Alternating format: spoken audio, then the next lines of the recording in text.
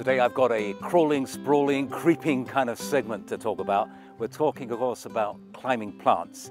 Now, over years, we've talked about different things and different places where they can grow on. Just to recap, you can grow them obviously on the ground. They will just sprawl along the ground. But we think of putting them on a trellis, on an arbor, or even climbing up a tree.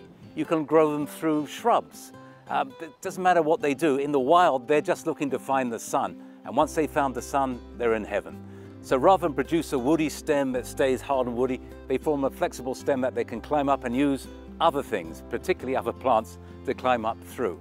Now, for beginners, you typically think of climbers as being like this splendid chap, whether you call it clematis, clematis, or clematis, um, doesn't really matter, we know what they are.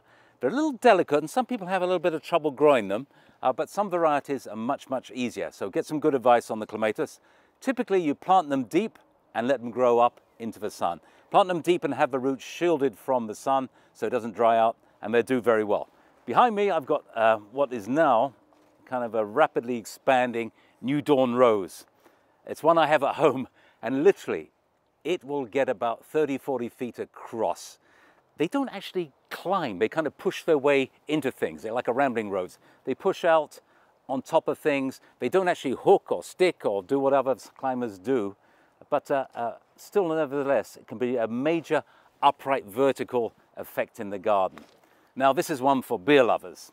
This is a hop plant and yes it will actually produce little hops later on. It dies all the way down to the ground so there's no woody stem or a light flexible woody stem to climb up from. It starts from the ground but again it can be quite a big plant.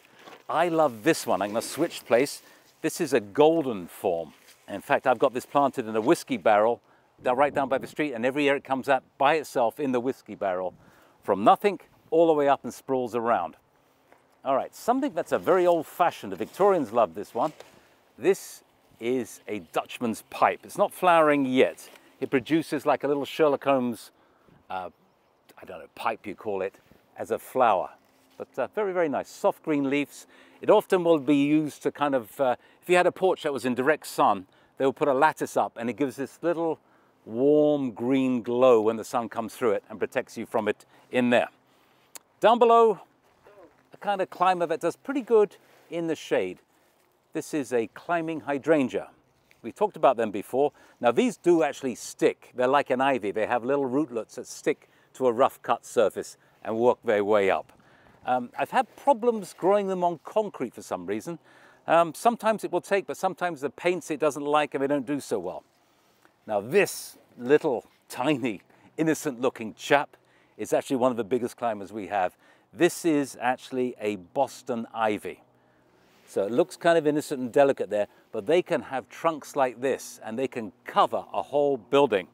All right, something to be very aware of. It looks innocent when it's small. This is a trumpet vine. Now, trumpet vines are a very aggressive growing vine. This one is a particularly interesting one it's called Indian Summer because it flowers much longer than the typical red one or the orange one. It just keeps on going, going, going into September. Very, very nice plant to have. Um, but bear in mind, they will sucker up, they will seed, and you could have trumpet vines basically strangling your garden if you're not too careful. Now, what I want to focus on today is the honeysuckles, because we get lots of questions about them. This is the infamous Japanese honeysuckle. Uh, it's an invasive species, and it is everywhere in Pennsylvania. I think everywhere in the northeast. Uh, it's quite attractive when it flowers. It has an aphid that likes it, so the leaves can look a bit discolored midsummer. Uh, its claim to fame is it produces a lovely red berry that the birds love.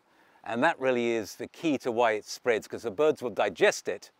The seed goes through their system, and wherever they drop their waste, that little seed drops down surrounded by nitrogen, and usually amongst another plant.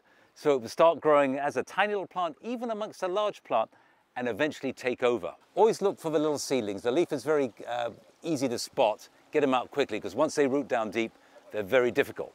It just so happens that about 20 years ago, I planted something from the Midwest.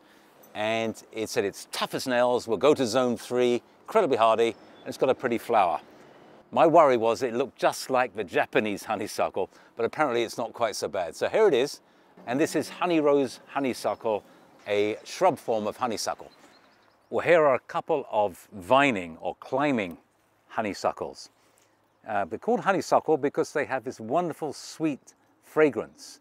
This one's not bad. This is one of the American native honeysuckles. This is, uh, I think it's Alabama crimson, and of course it has this lovely crimson flower, tubular. So all the uh, insects with long proboscis that can feed on the nectar down at the bottom are good. Hummingbirds love them. This one will keep on flowering all summer long, as will this one next door. Now this is my favorite. This is a periclymenum honeysuckle. It's what reminds me of being a kid in England because it's a very similar fragrance. I do actually just protect them a little bit in the winter. You can't leave them outside. So I usually put them in a, a greenhouse, a garage or something like that. Roll them out early in the spring, it could be in March, it can be frost around, and out they come and they will give you uh, a summertime's worth of fragrance and floral enjoyment. So there you go, some of the climbing plants. We touched some old stuff, we looked at some new stuff, and hopefully you might be tempted to put one of these buttes in your garden too. Thanks for joining me, and as ever, if you've got any gardening questions, come down to Greystone Gardens and I'll be happy to answer them.